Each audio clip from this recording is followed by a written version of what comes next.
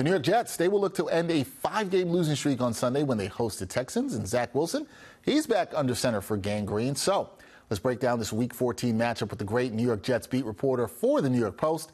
My guy Brian Costello joins me now. Brian, how are you doing?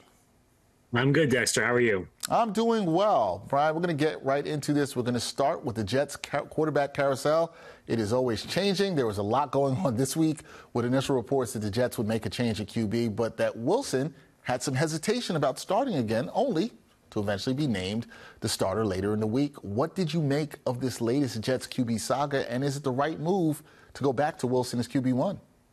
Yeah, I think they had to, Dexter. Uh, you know, a few weeks ago, we are sitting here saying hey, they should try something, go to a different quarterback.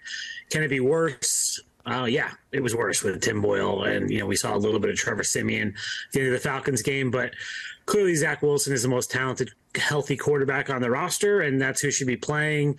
You know, not that he played well before he was benched, but the, the Jets have to try to go back to him. Maybe he can make something happen with his legs.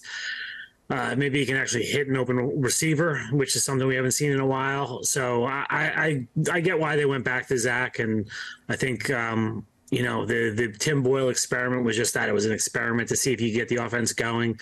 But the belief has always been that Zach Wilson is probably their better better quarterback. And we will see a lot of maybes there, Brian. A lot of maybes around Zach Wilson that you said there. But now we look at this matchup this week. It's of teams that you could say are going in opposite directions. The Texans, they're looking to make a playoff run at seven and five, while the Jets, they're trying to figure things out on offense at four and eight. There were not much high expectations for the Texans with a rookie quarterback this season. So, in your eyes, what's the difference between these two teams right now? What they did with the number two pick is the difference, Dexter. Right? I mean, they're very similar. Uh, the the Jets coming off of the terrible season in 2020 hired the defensive coordinator of the 49ers to take over, and they had the number two pick in the draft, and they took Zach Wilson, and we know how that's worked out. The Texans, coming off of a terrible 2022 season, went out and hired the 49ers defensive coordinator, DeMeco Ryans, who had replaced Robert Saleh in San Francisco. And they had the number two pick, and they drafted CJ Stroud, who is going to break the rookie passing yardage record. It looks like he leads the whole NFL in passing yards right now.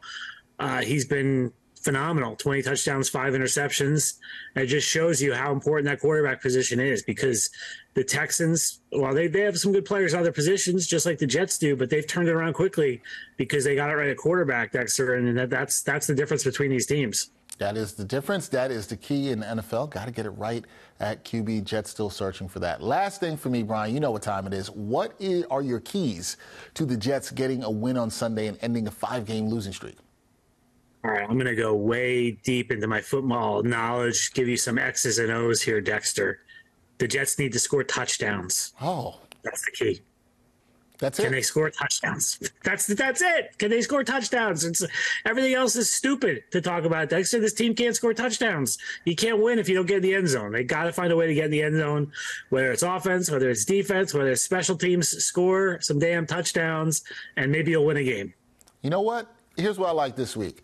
We didn't even need keys. It's just one thing. Can you get in the end zone? The problem is Brian Costello, who's been at all these games, hasn't seen it. He hasn't seen it happen in a while. He needs to see more of that. It's just one key. I mean, the five game losing streak, there's been two touchdowns, I think. Right? I'm mistaken, right? One against the Bills, one against the Dolphins. They're offensive touchdowns. But Chargers, no touchdowns. Raiders, no touchdowns. Falcons, no touchdowns. I mean, it's like there's been a lot of bad offenses with the Jets, Dexter. We've never seen anything quite this bad.